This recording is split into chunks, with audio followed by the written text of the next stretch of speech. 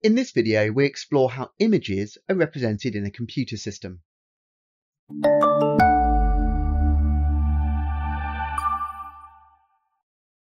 As we know, everything in a computer system must be stored in binary, and this includes images. There are two ways of storing images in binary. One is called a bitmap, and the other is called a vector. With bitmaps, an image is made from lots of different coloured squares, each square having a binary value. With vectors, the mathematics to draw the image is stored instead.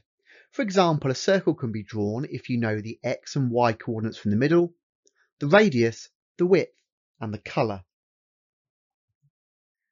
Therefore, technical drawings in clip art are best stored as a vector, and photographs that are not made out of shapes as a bitmap. In this video, we're only considering bitmap images in more detail, as those are the only images you need to be aware of for your exams. Here is a typical bitmap image of a butterfly. If we zoom in, you can see the image is made of lots of different coloured pixels. This is a bitmap. Here's another bitmap. This is a simple image so we can investigate how the computer actually stores bitmap images. You can see the image is made up of just black and white pixels. There are just two colours. Well, in binary, we have just two states as well, so we can give each colour a binary value, 0 for black and 1 for white. We can now store this image in binary in memory and on secondary storage. Let's have a look at this raw binary. You will notice that it no longer looks like a butterfly at all, and to reconstruct the image, we would need to know how many pixels wide the image was and how many pixels high it was. This data needs to be stored along with the image, and this is known as metadata. It allows the computer to take the raw binary data and make the correct resolution image. In addition to the width and height, we also need to store how many bits each pixel is. In this case, just one bit is being used for the two colours. Here we have an image in 2-bit colour.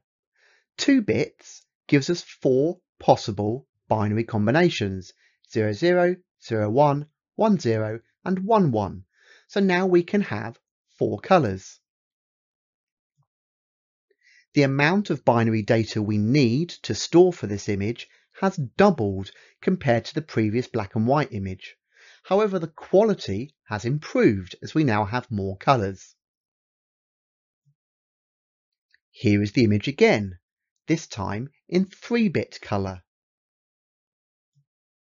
It's worth noting that as the colour depth and resolution, that's the width and height of the image increases, so too does the size of the file.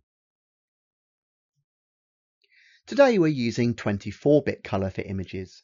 This means that each pixel is stored in 24 bits.